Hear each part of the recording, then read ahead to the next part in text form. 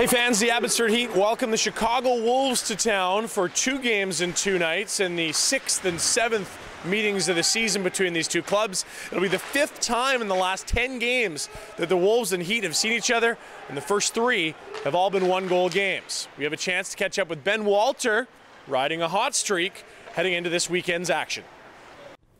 Ben, been in a bit of an offensive rhythm of late. How's it felt?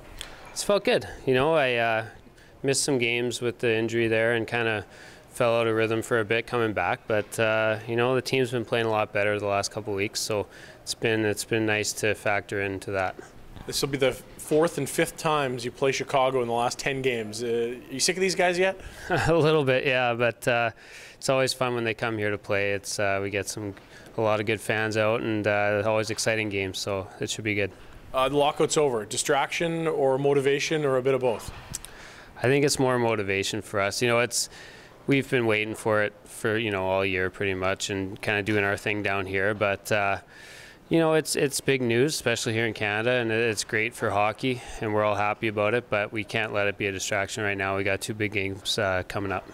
Last Saturday's 3-1 win over Rochester saw defenseman Joe Callahan put two assists on the board. He was named the second star of the game.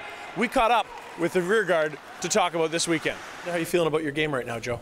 Uh, better than I was a few weeks ago, a few months ago. Um, you know, sometimes it takes a little bit of adjusting to a new team and new systems and coaches, and uh, but yeah, be better. You know, I'm feeling better, and I think a lot of our team is too. There's a lot of guys that, you know, have maybe picked up some play lately, and uh, we feel good in there. Uh, you've seen a lot of the Wolves of late. What does this team do well, and as a defenseman, what challenges do they pose? Well, they got a pretty good combination of a lot of things. They're pretty good with their sticks. They got some big guys, some smaller guys that are fast. So, you know, different lines pose different challenges, and we'll see what the matchups are and who they get playing together. And um, you know, they're they're a good team, but uh, we've played them pretty hard this year. So, you know, it's a really big weekend for us, and we got to come out strong. You enjoy the big crowds when uh, the Chicago team's in town? Is that fun?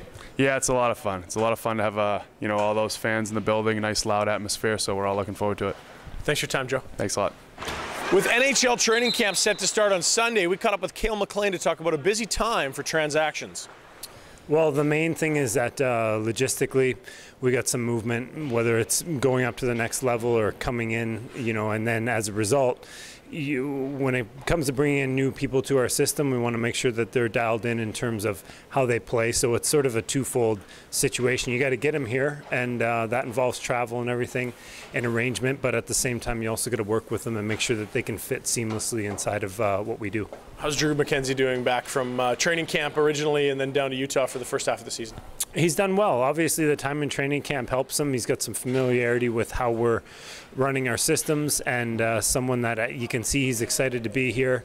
He's done well down in the ECHL, so it's always good to get someone in his shoes and he's carrying momentum into our situation, and hopefully we can run with that and uh, you can get him off to a good start at the AHL level. You sick of the Wolves yet? This will be games four and five in your last 10 against them.